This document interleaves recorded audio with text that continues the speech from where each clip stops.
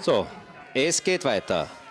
Mit Benjamin Reich. Die besten acht sind noch oben. Benny Reich 1, 0, 2 Vorsprung aus dem ersten Durchgang.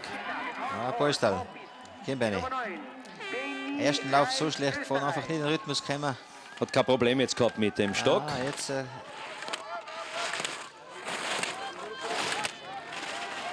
Hat hier schon gewonnen, er der kommt, Benny. Er kommt, nicht, er kommt für mich nicht ins Fahren.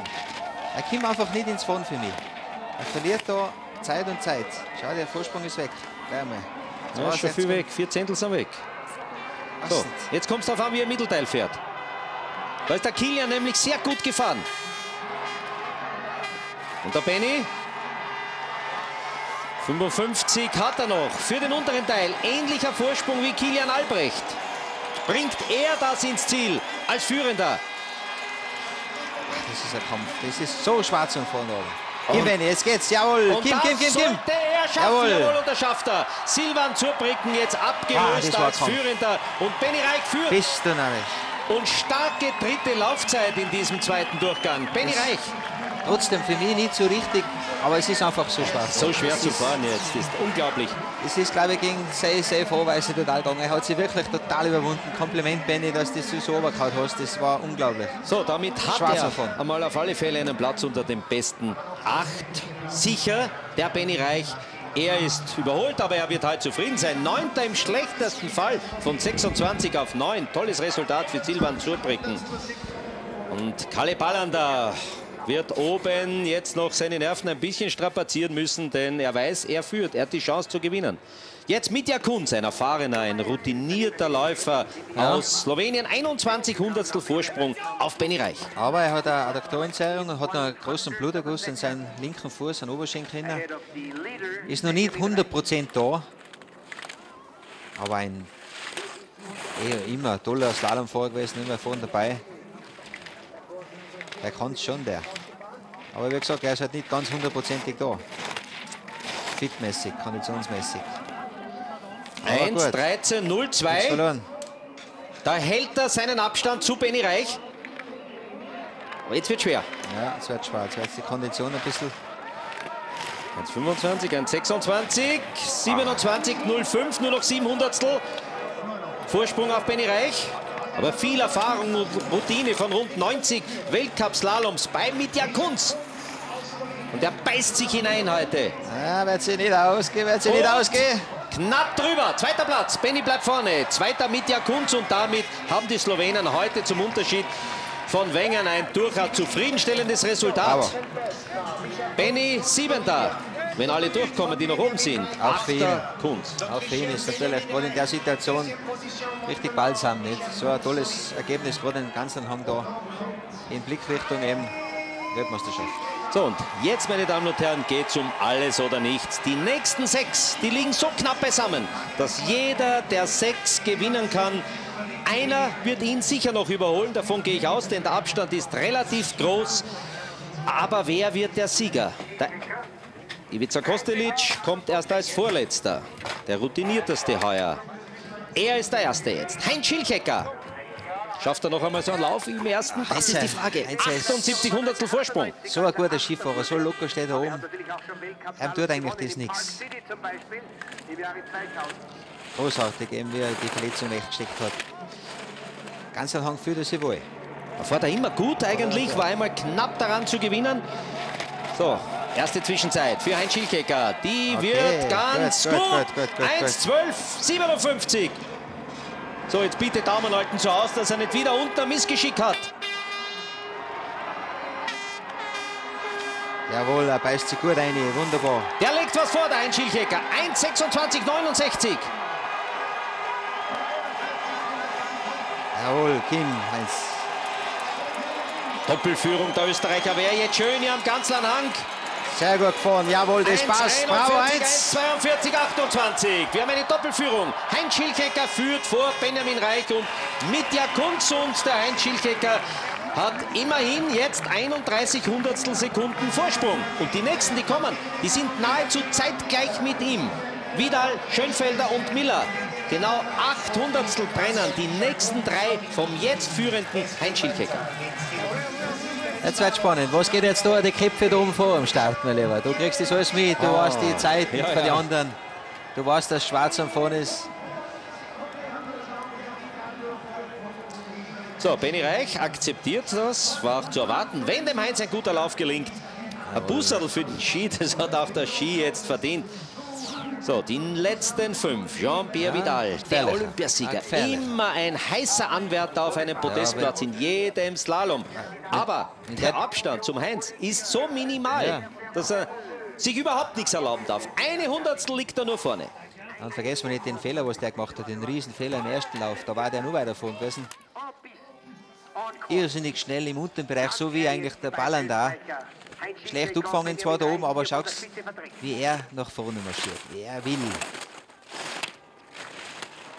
Uh, der ist gut auf dem Weg. Der beißt sich rein. So, Zwischenzeit jetzt für Jean-Pierre Vidal 1,10, 1,11. Wo Ei, bleibt ei, die Uhr stehen? Bei 1,12,37. Vorsprung ausgebaut. Jetzt ist er weg. Aber er fällt aus, wie in Bormio. Ah, jetzt aufs Kreuz reingehauen. Das tut weh. Eieiei, und in zwei Tagen der nächste Slalom. Ah, kriegt keinen Blauen. Jetzt genau Steißbein reingehauen. Ein bisschen hängen geblieben, glaube ich, sogar beim Schnee, beim Ausgerutschen. Jetzt bei dem Schwung da passiert's. Aue. Und eine, zack. Da knallst hin auf die Piste. Ganz gehörig.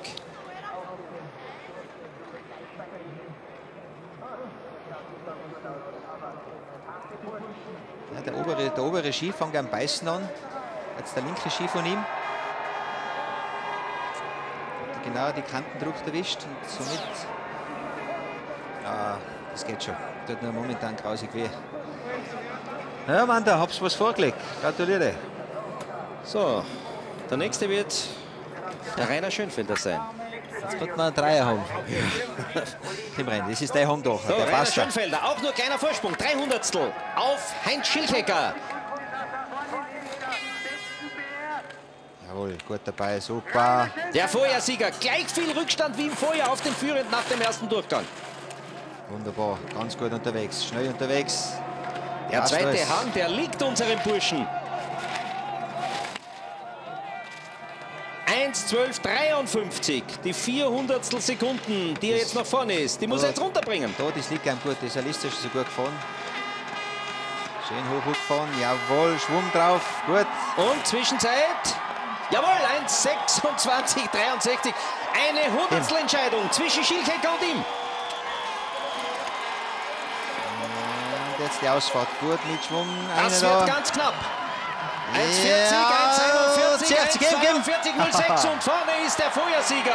Er hat es wieder geschafft. Rainer Schönfelder 1,42,06 ist vorne und jetzt der richtige Kraftausbruch. Aller guten Dinge sind bekanntlich drei. Schönfelder vor Schilchecker und Benny Reich. Aber drei sind auch noch oben. Miller, Kostelic und Ballander. Und das sind natürlich nicht irgendwelche, Ja. sondern die Topstars der Saison. So, schauen wir, ob wir das Fragezeichen aufbringen können, die drei da oben. Ja, das geht natürlich jetzt die Runde da oben am Start. Ihr kriegt das alles mit. Sie wissen, es schlagerig ist, lächerig ist. Da super Zeiten gefunden. So, der Österreicher. 22 Bravo, Wanda. Hundertstel ist Schönfelder vorne, die hat er allesamt unten herausgeholt. Jubel von Rainer Schönfelder hier im Ziel. Jetzt muss er wieder warten. Drei muss er abwarten. Ist er wieder der Sieger oder heuer ein anderer einen guten Platz hat er jedenfalls. So. Body Miller, Ganz cool. Kostelic.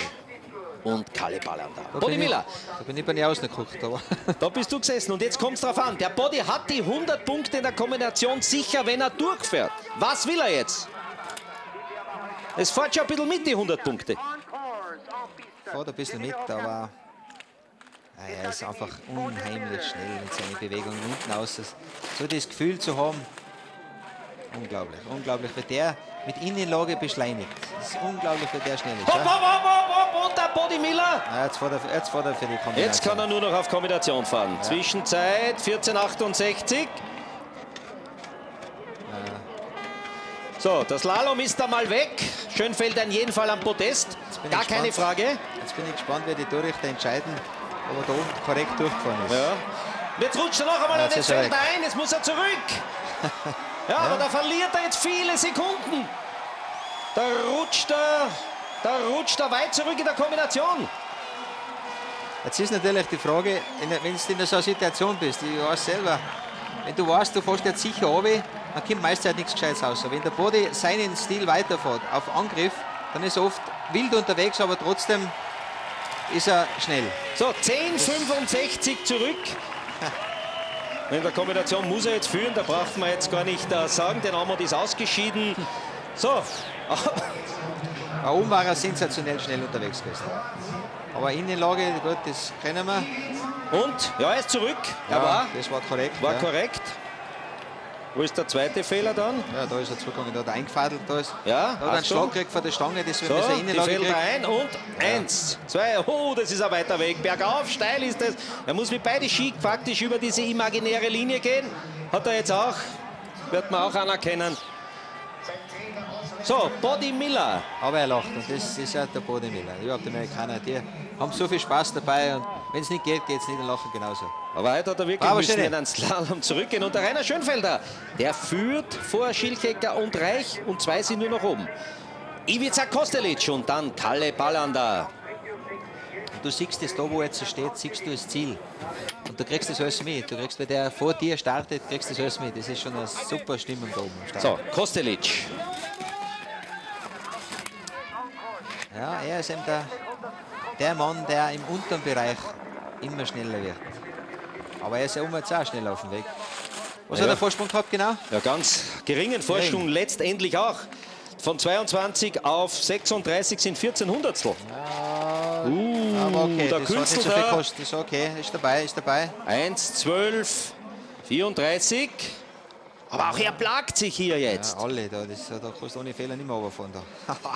Da war die Ausgangsposition für den Schönfeld und für die hat Österreicher verloren, gar hat verloren, schlecht. hat verloren. 1,27,09. Viel hat er verloren. Da rutscht er möglicherweise hinter alle drei Österreicher zurück. Den Reich 1,42,59. Das war knapp, das war knapp. Und Hör auf.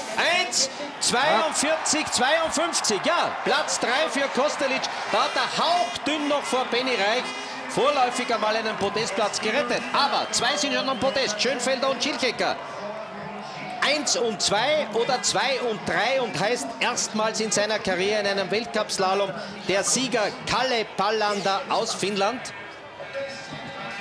Ja, der Mittelteil, der ist ihm überhaupt nicht aufgegangen. Das war eigentlich noch okay, aber natürlich, irgendwo steckst ein bisschen zurück, zwei, drei Tore und somit hat die super reagiert, aber trotzdem steckst du ein bisschen zurück und dann ist die Zeit schon weg. Das waren die vier Zehntel.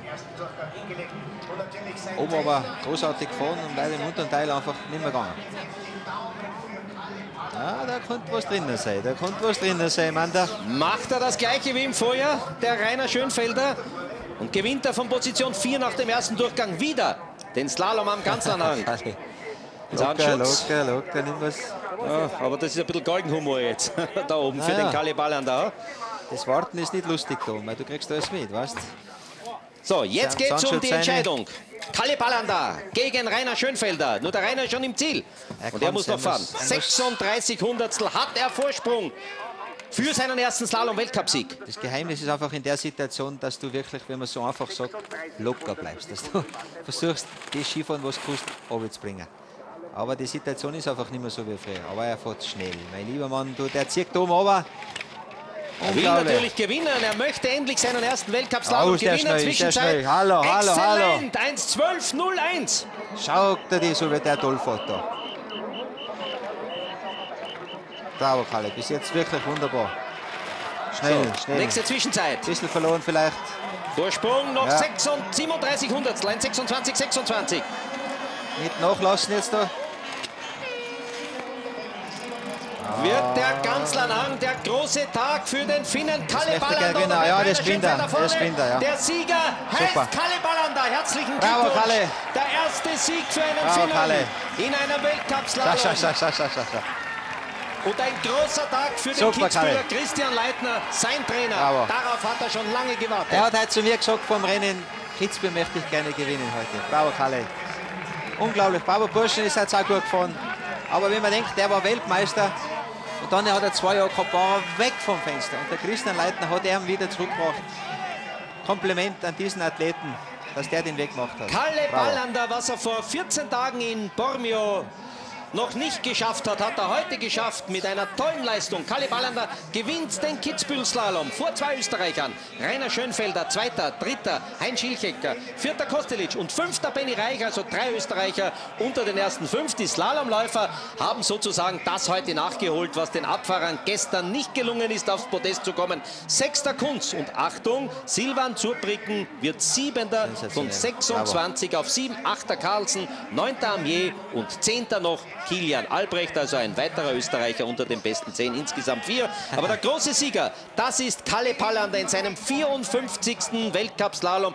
Gewinnt er zum ersten Mal und in dem 17. Slalom in Serie bleibt er in der Wertung und das endlich darf man wirklich sagen, auch einmal ganz zu oberst am Podest. Ja, ganz lustig, weil wirklich vom Rennen hat zu mir gesagt, du, ich habe die heute auf der Gondel gesehen, deinen Namen, ich möchte auch da, das möchte ich gewinnen da. Und tatsächlich ist es ihm heute gelungen. Kompliment an Christian Leitner, der die Burschen wirklich auf Trab gebracht hat. Er hat sich wirklich der verdient. ist jetzt das 17. Mal hintereinander im Weltcup durchgekommen Ja. und heute gewinnt er den ganzen, heute gewinnt er Sanikan Slalom. Ein Der unglaubliches ist. Gefühl. Zwei, die sich das gewünscht haben und zwei Nationen, die noch nie gewonnen haben, haben an diesem Wochenende gewonnen.